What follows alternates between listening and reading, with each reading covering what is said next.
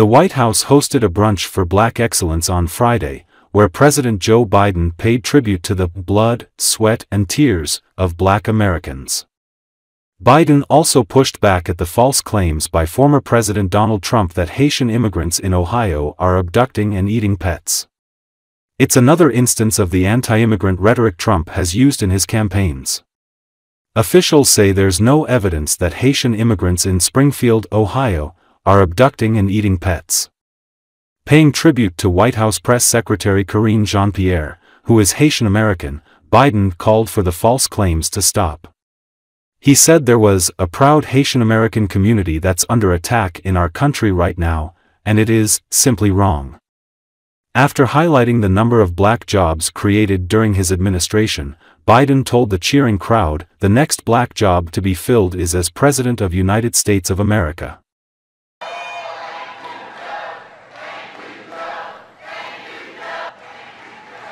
Marseille, thank you for that introduction. I made a commitment. My administration would look like America, and it does. I want to take, take a moment to say something like so many Americans like Karine, as he pointed out, a proud Haitian American community that's under attack in our country right now. Simply wrong.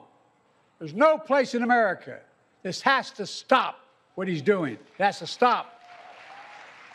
And thank you all for being here in this historic day. Today, recognize that this nation would not exist, and this is literal, without the blood, sweat, and tears, without the determination, dreams, and contributions of black Americans. That's a fact. This place wouldn't exist. It's a fitting event during this fantastic Congressional Black Caucus Week. All the members of the Black Caucus that are here today, stand up. I want to see you all. Come on.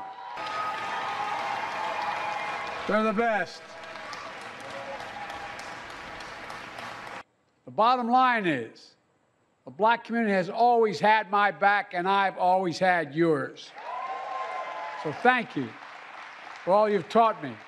Thank you for all the love you've extended to me. So thank you for all you've taught me. We've centered racial equity as the center of everything we do. With your help, in just three and a half years, we've created over 2 million new black jobs for black, black Americans and black. By the way, the next black job to be filled is as President of the United States of America. All right, watch me. We have the lowest black unemployment rate on record. Today, we honor this simple truth. Black history is American history. Black excellence is American excellence. And folks, we don't erase history like others are trying to. We make history. I know it because I've seen it. I've been vice president of the first black president in American history, a president to the first black vice president, and God willing, to the first female black president in American history. Kamala wanted to be here today, but she's traveling. She couldn't be here. But she's always there with us. We'll always be there for her. On this day, we celebrate black excellence. Let us remember, history is in our hands. It's literally in our hands.